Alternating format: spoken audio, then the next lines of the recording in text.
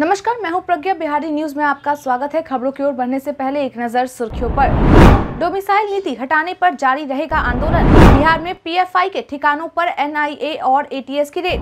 Inter pass अल्पसंख्यक छात्राएँ पंद्रह हज़ार रूपए लेने के लिए करे अप्लाई सोलर स्ट्रीट लाइट योजना की सुस्ती पर मंत्री नाराज़। गावस्कर की टीम इंडिया को दिया वर्ल्ड कप में जीत का गुरुमंत्र इसके साथ ही बढ़ते हैं शाम तक की बड़ी खबरों की ओर विस्तार से। डोमिसाइल नीति हटाने पर जारी रहेगा आंदोलन। बीते दिन राजधानी पटना में शिक्षक अभ्यर्थियों के द्वारा शिक्षक भर्ती परीक्षा से डोमिसाइल नीति हटाने को लेकर सरकार के विरुद्ध जमकर प्रदर्शन किया गया। इस दौरान जब अभ्यर्थी मार्च करने के लिए राजभवन की ओर जा रहे थे, उस दौरान पुलिस के द्वारा शिक्षक अभ्यर्थियों पर लाठीचार्ज किया गया, जिसके जवाब में शिक्षक अभ्यर्थियों के द्वारा डोरेबाजी भी की गई। वहीं अब शिक्षक अभ्यर्थियों के द्वारा लाठीचार्ज के विरोध में ग्यारह जुलाई को सड़कों पर उतरने का फैसला लिया गया है। बता दें कि ग्यारह जुलाई को शिक्षक अभ्यर्थियों के द्वारा विधानसभा का भी घेराव किया जाएगा। वहीं बीते दिन हुए लाठीचार्ज के बाद शिक्षक अभ्यर्थी राजद कार्यालय पहुँचे, जहाँ उन्होंने घंटों नारेबाजी भी की। बिहार में पीएफआई के ठिकानों पर एनआईए और एटीएस की रेड। एक बार फिर से बिहार की राजधानी पटना से सटे इलाके फुलवारी शरीफ और दरभंगा में बहेरा थाना क्षेत्र में एनआईए की टीम के द्वारा पीएफआई के ठिकानों पर छापेमारी की गई। बता दें कि छापेमारी में आतंकवाद विरोधी दस्ता भी शामिल है। बता दें कि मीडिया में चल रही खबरों के अनुसार एनआईए की टीम के द्वारा दरभंगा में बहेरा थाना क्षेत्र के छुटकी बाज़ार से एक संदिग्ध युवक को भी गिरफ़्तार किया गया है, जो पटना में रहकर पढ़ाई करता था। बताया जा रहा है कि एनआईए और आतंकवाद निरोधी दस्ता के द्वारा फुलवारी, पटना थाना कांड संख्या 827 में वांछित अभियुक्त मुमताज़ अंसारी से जुड़ी जानकारी के आधार पर छापेमारी की जा रही है। हालाँकि खबर लिखे जाने तक छापेमारी में कुछ भी खास जानकारी नहीं मिली है। न्याय दिलाने में बिहार का यह जिला रहा आगे। पुलिस मुख्यालय के एडीजी जितेंद्र सिंह गंगवार के द्वारा दी गई जानकारी के अनुसार इस वर्ष बिहार पुलिस के द्वारा सिर्फ़ मई माह में चौतीस अपराधियों को गिरफ़्तार किया गया है, जो कि पिछले दो सालों में किए गए गिरफ्तारी के आंकड़े से तीन गुना अधिक है। वहीं मई माह में किए गए गिरफ्तारी में एक हज़ार एक सौ तीस कुख्यात अपराधी शामिल है तो वही पंद्रह नक्सली भी पकड़े गए हैं। इसके साथ ही इस साल मई में 408 अवैध आग्नेस्त्र 11 रेगुलर आग्नेस्त्र 1855 गोली, सात बम और 101 डेटोनेटर की बरामदगी की गई है। पुलिस के द्वारा तीन लाख उन्नीस हज़ार लीटर अवैध शराब और एक हज़ार नौ सौ तिरसठ किलोग्राम गांजा भी बरामद किया गया है। आपकी जानकारी के लिए बता दें कि एडीजी आपकी जानकारी के लिए बता दें कि एडीजी जितेंद्र सिंह गंगवार के द्वारा दी गई जानकारी के अनुसार सजा दिलाने में बिहार के जो ज़िले सबसे आगे रहे हैं, उनमें पटना, भोजपुर, समस्तीपुर, रोहतास, मधुबनी और भागलपुर शामिल है। बिहार पर मंडरा रहा बाढ़ का खतरा। बिहार में मानसून के पूरी तरह से सक्रिय होने के बाद बिहार के कई जिलों में लगातार बारिश हो रही है, जिससे कि नदियों के जलस्तर में तेज़ी से बढ़ोतरी हो रही है। बता दें, गोपालगंज और वाल्मीकि नगर में गंडक नदी उफान पर है तो वहीं कोसी का भी जलस्तर बढ़ा है। इसके अलावा सीतामढ़ी ज़िले में बागमती व झीम नदी के जलस्तर में भी लगातार वृद्धि हो रही है। ऐसे में प्रदेश के कई निचले इलाकों में बाढ़ का खतरा मंडराने लगा है तो वहीं कई इलाकों में बाढ़ का पानी घुस रहा है। तटीय इलाकों में भीषण कटाव भी शुरू हो गए हैं तो वहीं कई इलाकों में सड़कों पर पानी चला गया है और फ़सलों को भी क्षति पहुँची है। ऐसे में जल संसाधन विभाग के द्वारा स्थिति से निपटने के लिए इंजीनियरों संवेदकों और मजदूरों को मुस्तैद कर दिया गया है और साथ ही नदियों की स्थिति पर भी नज़र बनाई रखी जा रही है। आपकी जानकारी के लिए बता दें की राज्य में मानसून की बारिश अगले एक सप्ताह तक हल्की व तेज गति में होती रहेगी। पटना के मरीन ड्राइव की तर्ज पर बागमती के तट को किया जाएगा विकसित। बिहार के जल संसाधन व सूचना एवं जनसंपर्क मंत्री संजय कुमार झा के द्वारा बहादुरपुर प्रखंड की सिमरा, निहालपुर पंचायत के चपड़िया गाँव में बागमती नदी किनारे बन रहे पक्का घाट के निरीक्षण के दौरान कहा गया कि दरभंगा में भी बागमती नदी के किनारे को बिहार की राजधानी पटना में गंगा नदी के किनारे बने मरीन ड्राइव की तर्ज पर विकसित किया जाएगा। मरीन ड्राइव की तरह ही पाथवे का निर्माण किया जाएगा। इसके साथ ही उन्होंने बागमती नदी के किनारे बन रहे पक्का घाट के कार्य को जल्द से जल्द पूरा करने का निर्देश भी दिया। वहीं अधिकारियों ने उन्हें बताया कि एक सप्ताह के अंदर काम को पूरा कर लिया जाएगा। इसके साथ ही संजय कुमार झा के द्वारा अधिकारियों से इसके आसपास के इलाकों को हरा भरा करने की दिशा में पौधे लगाने का भी निर्देश दिया और साथ ही अधिकारियों को घाट को और अधिक समतल करने को कहा ताकि लोग आसानी से टहल सकेंगे। बिहार में 900 से ज़्यादा अधिकारियों के ट्रांसफ़र ऑर्डर हुए जारी। बीते दिन यानी कि शनिवार देर रात राज्य सरकार के द्वारा कई विभागों में कई अधिकारियों का तबादला किया गया, जिसमें 175 राजस्व अधिकारियों और 261 सहायक कर आयुक्त समेत कई महकमों के अधिकारी शामिल है। बता दें कि अंचलाधिकारी और राजस्व अधिकारी के अलावा प्रभारी, चकबंदी पदाधिकारी, सहायक बंदोबस्त पदाधिकारी और भूमि सुधार उप का भी पदस्थापन किया गया है। लेकिन इसमें सबसे खास बात यह है कि इनमें से अधिसंख्य अधिकारी बिहार राजस्व सेवा के हैं। बता दें कि राजस्व एवं भूमि सुधार विभाग के द्वारा तेईस अनुमंडल में नए प्रभारी चकबंदी का पदस्थापन किया गया है। वहीं राजस्व विभाग के द्वारा विशेष सर्वेक्षण वाले जिलों के विभिन्न बंदोबस्त कार्यालयों में इकसठ प्रभारी सहायक बंदोबस्त पदाधिकारियों को तैनात किया गया है। इसके अलावा वित्त वाणिज्य के दो सौ इकसठ सहायक कर आयुक्त का स्थानांतरण किया गया है। राजस्व एवं भूमि सुधार विभाग के द्वारा तीन दर्जन ऐसे अधिकारियों की सेवा मूल विभाग को लौटा दी गई है, जो वर्षों से विभाग में अंचलाधिकारी या अन्य पदों पर कार्यरत है।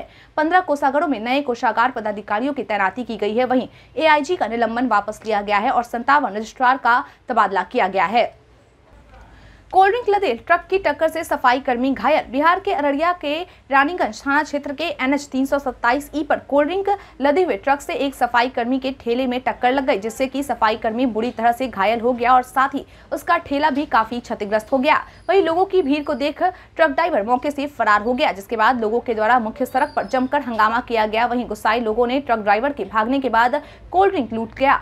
हालाँकि जब इस बात की जानकारी पुलिस को दी गई तो मौके पर पहुँची। पुलिस के द्वारा लोगों को कोल्ड ड्रिंक लूटना बंद करवाया गया। वहीं घायल सफ़ाई कर्मी को आनंद फानन में रेफरल अस्पताल भी भर्ती कराया गया, जिसके बाद उसकी हालत की गंभीरता को देखते हुए उसे नेपाल के प्राइवेट नर्सिंग होम में भर्ती कराया गया है। फ़िलहाल पुलिस आगे की कार्रवाई में जुटी है। आपकी जानकारी के लिए बता दें कि घायल सफ़ाई कर्मी की पहचान रानीगंज थाना क्षेत्र के खड़क पंचायत वार्ड दो निवासी विकास के रूप में की गई है।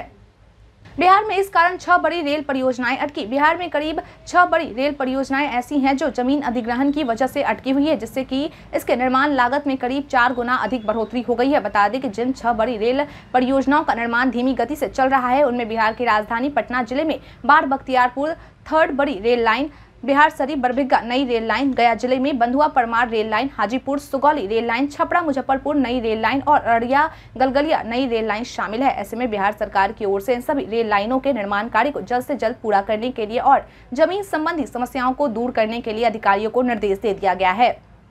इंटर पास अल्पसंख्यक छात्राएँ पंद्रह हज़ार रूपए लेने के लिए करे अप्लाई बिहार सरकार के द्वारा बालिका सशक्तिकरण तथा उनके शैक्षणिक विकास के लिए चलाए जा रहे मुख्यमंत्री अल्पसंख्यक विद्यार्थी प्रोत्साहन योजना के तहत वर्ष 2023 में प्रथम श्रेणी से इंटरमीडिएट पास छात्राओं को पंद्रह पंद्रह हज़ार की प्रोत्साहन राशि दी जा रही है। ऐसे में वे सभी अल्पसंख्यक छात्राएँ जिन्होंने वर्ष दो हज़ार तेईस में इंटर प्रथम श्रेणी से पास किया है, वह इसका लाभ उठा सकते हैं। इस योजना का लाभ पाने के लिए इंटरमीडिएट की marksheet admit card Aadhaar card bank passbook और आवासीय प्रमाण पत्र की छाया प्रति रखना छात्राओं को अनिवार्य है। भारतीय रेलवे करेगी भारत गौरव ट्रेन की शुरुआत। Indian railway catering and tourism corporation limited के द्वारा पहली बार देखो अपना देश के तहत भारत गौरव ट्रेन की शुरुआत की जाएगी। बता दें कि इस पर्यटन ट्रेन की शुरुआत 22 जुलाई को होने वाली है, जो कि बेतिया से खुलेगी और सगौली, रामगढ़वा, रक्सौल, सीतामढ़ी, दरभंगा, समस्तीपुर, मुजफ्फरपुर, हाजीपुर, पटना, बख्तियारपुर, मोकामा क्यूल झाझा, जसडीही, मधेपुरा जामतारा चितरंजन, आसनसोल आद्रा एवं हिजली स्टेशन पर तीर्थ यात्रियों को ट्रेन में सवार होने के लिए रुकेगी। आपकी जानकारी के लिए बता दें कि आप इस पर्यटन ट्रेन से तिरुपति रामेश्वरम मदुरई कन्याकुमारी मंदिर एवं त्रिवेंद्रम। का भ्रमण कर सकते हैं। वहीं अगर इस ट्रेन के टिकट की कीमत की बात करें तो स्लीपर क्लास में यात्रा के लिए आपको उन्नीस हज़ार देने होंगे। तो वहीं एसी तीन क्लास की यात्रा करने के लिए आपको बत्तीस हज़ार देने होंगे इच्छुक पर्यटक। यात्रा संबंधी विस्तृत जानकारी एवं बुकिंग के लिए आई बिस्कोमान टावर चौथा, तिल्ला, पश्चिमी गांधी मैदान, पटना एक या दूरभाष संख्या आठ पाँच नौ पाँच नौ तीन सात सात दो या आठ पाँच नौ पाँच नौ तीन सात सात दो सात या आठ पाँच नौ पाँच नौ तीन सात सात एक एक से प्राप्त कर सकते हैं या आईआरसीटीसी की वेबसाइट पर डब्ल्यू पर जाकर बुकिंग करा सकते हैं। सोलर स्ट्रीट लाइट योजना की सुस्ती पर मंत्री नाराज़। बीते दिन शनिवार को पंचायती राज मंत्री मुरारी गौतम के द्वारा अपनी अध्यक्षता में आयोजित हुई समीक्षा बैठक में राज्य की पंचायतों में सोलर स्ट्रीट लाइट योजना के क्रियान्वयन में हो रही सुस्ती पर नाराज़गी जताई गई है। उन्होंने कहा कि सोलर स्ट्रीट लाइट लगाने की प्रगति जिलों के प्रत्येक पंचायत के आठ वार्ड के हिसाब से काफ़ी कम है। ऐसे में इसमें तेज़ी लाने की आवश्यकता है। उन्होंने कहा की लाइटों के निरीक्षण के पश्चात पंचायत स्तर से एवं पंचायत के वार्डो में अधिष्ठापन के पश्चात जिला स्तर से एजेंसियों को राशि भुगतान में कोई देरी न की जाए। इसके साथ ही उन्होंने अधिकारियों को निर्देश देते हुए कहा कि इस वित्तीय वर्ष में सभी पंचायतों में आठ आठ सोलर स्ट्रीट लाइट लगा दिए जाएँ। वहीं एजेंसियों को कार्य देश मिलने के छह माह के अंदर लाइट न लगाने पर तथा अन्य कार्य में प्रगति नहीं दिखने पर स्पष्टीकरण दिया जाए तथा जिन एजेंसियों का भुगतान ससमय नहीं किया गया है, वह पत्र के माध्यम से जिला पदाधिकारी को इसकी सूचना दें। आज से तीन दिनों तक सीएम नीतीश करेंगे, पार्टी सांसदों से मुलाकात। 2024 में होने वाले लोकसभा चुनाव को लेकर सभी पार्टियों की ओर से अपनी अपनी तैयारियाँ जोरों शोरों के साथ शुरू कर दी गई है। इसी कड़ी में अब बिहार के मुख्यमंत्री नीतीश कुमार के द्वारा भी अपनी तैयारियाँ शुरू कर दी गई है। बता दें कि आज से वह तीन दिनों तक लगातार पार्टी के सांसदों से मुलाकात करेंगे। बता दें कि मीडिया में चल रही खबरों के अनुसार कई सांसदों के द्वारा मुख्यमंत्री नीतीश कुमार से मिलने की इच्छा जताई गई थी। इसको देखते हुए मुख्यमंत्री नीतीश कुमार ने बारी बारी से सभी सांसदों से मिलने की योजना बनाई है। मालूम हो कि सांसदों और नीतीश कुमार के बीच यह मुलाकात एक अने मार्ग स्थित मुख्यमंत्री आवास पर होगी। इस मुलाकात को लेकर मंत्री विजय कुमार चौधरी के द्वारा बयान देते हुए कहा गया कि यह सामान्य घटना है। मुख्यमंत्री सभी से मिलकर उनका हालचाल, क्षेत्र में विकास के कामकाज की स्थिति सहित अन्य जानकारी लेते रहते हैं। वहीं राज्यसभा सदस्य वशिष्ठ नारायण सिंह के द्वारा मुख्यमंत्री के इस पहल की सराहना की गई और कहा गया की मुख्यमंत्री को आगे भी ऐसा करते रहना चाहिए।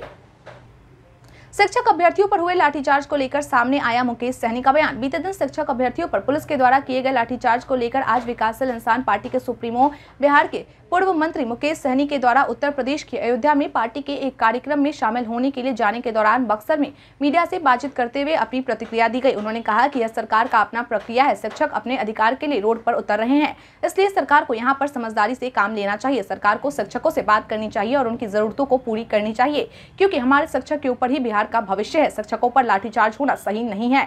सरकार को लाठीचार्ज नहीं, बल्कि बातचीत करनी चाहिए। उन्होंने कहा कि नीतीश कुमार इतने दिनों से सरकार चला रहे हैं, लेकिन शिक्षकों के दिल में जगह नहीं बना पाए।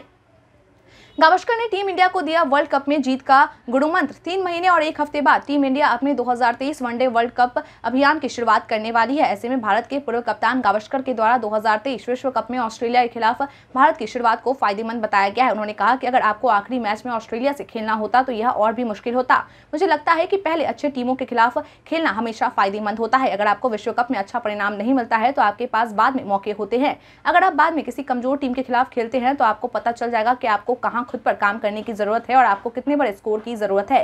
उन्होंने कहा कि उन्नीस में हमने पहला मैच वेस्टइंडीज़ के खिलाफ खेला था। वह मौजूदा चैंपियन थी और हमने उन्हें हरा दिया था। यह दो दिवसीय मैच था क्योंकि बारिश के कारण मैच को अगले दिन फिर से शुरू किया गया था। इस मैच में हमने जीत दर्ज की थी, जिससे कि हमारा आत्मविश्वास बढ़ा, जबकि पहले हमारा विश्व कप में प्रदर्शन कुछ खास नहीं था। जानिए आज बिहार में क्या है पेट्रोल डीजल के रेट। बिहार में आज यानी रविवार को पेट्रोल डीजल के रेट जारी किए गए। इसके बाद राजधानी पटना में आज पेट्रोल एक सौ सात दशमलव दो चार रुपए और डीजल चौरानवे दशमलव शून्य चार रुपए प्रति लीटर में मिल रहा है। मुजफ्फरपुर में पेट्रोल एक सौ आठ दशमलव शून्य रुपए और डीजल चौरानवे दशमलव सात सात रुपए प्रति लीटर मिल रहा है। वहीं पूर्णिया में पेट्रोल की कीमत एक सौ आठ दशमलव आठ दो रुपए और डीजल पंचानवे दशमलव रुपए प्रति लीटर है। भागलपुर में पेट्रोल कीमत एक सौ सात दशमलव नौ आठ रुपए और डीजल कीमत चौरानवे दशमलव सात एक रुपए प्रति लीटर निर्धारित की गई है। इसके साथ ही गया में पेट्रोल कीमत एक सौ आठ दशमलव तीन एक रुपए और डीजल कीमत पंचानवे दशमलव शून्य चार रुपए प्रति लीटर है। बता दें कि बिहार में पेट्रोल का रेट सबसे ज़्यादा किशनगंज में है, जहाँ पेट्रोल एक सौ नौ दशमलव छह शून्य रुपए प्रति लीटर और डीजल छियानवे दशमलव दो तीन रुपए प्रति लीटर की दर से मिल रहा है। बीते दिन मदरा पूछे का सवाल का आप लोगों में से बहुत लोगों ने जवाब हमें हमारे कमेंट सेक्शन बॉक्स में लिख कर दिया है, जिन्होंने मदरा पूछे का सवाल का जवाब दिया है। उनके नाम है राजेंद्र पांडे गोलू कुमार, रंजीत मिश्रा, मृत्युंजय कुमार, सचिन कुमार, कुमारी संजना, उमेश कुमार, मोहम्मद अफसल मंसूरी, पी के पासवान, कमलेश शर्मा, उमेश ऋषदेव नौसद अंसारी, सदुल्लाह पलवी मोहम्मद सकीर हुसैन, राजकिशोर। इसके साथ ही बढ़ते आज के सवाल की ओर। आज का सवाल है आपके अनुसार अल्पसंख्यक छात्राओं के लिए सरकार के द्वारा चलाई जा रही योजना कितना फ़ायदेमंद है? अपना जवाब हमें हमारे कमेंट सेक्शन में लिखकर ज़रूर बताएँ। आज के लिए इतना ही। बिहार के तमाम खबरों के साथ बने रहने के लिए देखते रहे बिहारी न्यूज़। और साथ ही, अगर आप यूट्यूब से देख रहे चैनल को सब्सक्राइब करना और अगर आप फेसबुक से देखें तो पेज को फॉलो करना न भूले। धन्यवाद।